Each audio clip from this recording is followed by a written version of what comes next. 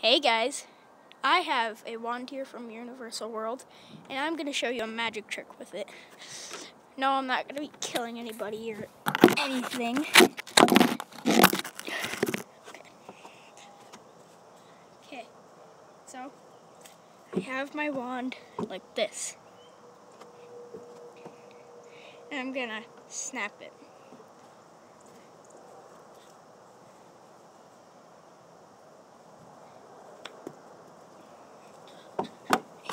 Can't be snapped. See, it's perfectly fine. No cracks, nothing.